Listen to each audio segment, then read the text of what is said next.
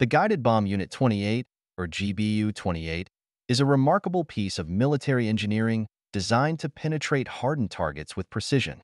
Developed during the Gulf War, this 2,000-pound laser-guided bomb features a robust design, allowing it to breach reinforced bunkers and underground facilities.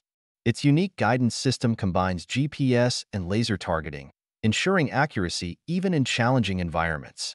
What sets the GBU-28 apart is its ability to deliver devastating payloads while minimizing collateral damage. The bomb's penetrating capabilities are enhanced by its heavy casing and a specialized warhead, making it a formidable choice for strategic strikes. In recent conflicts, the GBU 28 has proven invaluable in neutralizing high-value targets, showcasing the evolution of aerial warfare.